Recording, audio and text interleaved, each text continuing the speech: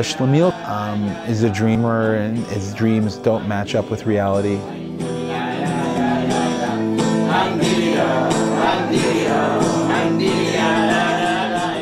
I'm part of this community, but I have a lot different personality than a lot of these people.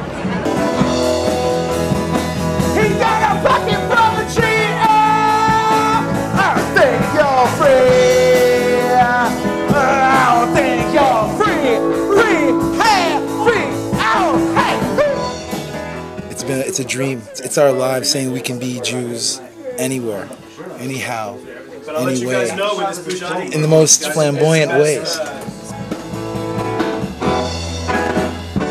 I mean, as long as he stays connected to his family and the Jewish values that are really important to me, which, you know, I think that if he gets really, really involved in this scene, that might, it could potentially come into conflict.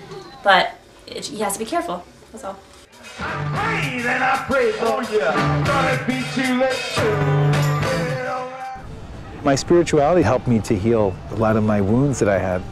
My dad says, I am that I am that I am. I am the Lord. I am God. Love you, Dad. I love you too. You gotta get going. You gonna push me away? You better get. Give me a hug. away. Dad. We're willing to give it all. We love we love our music. We love what we're doing. We believe in our mission. And I mean, we should get more popularity, build up a scene, and like create a cult.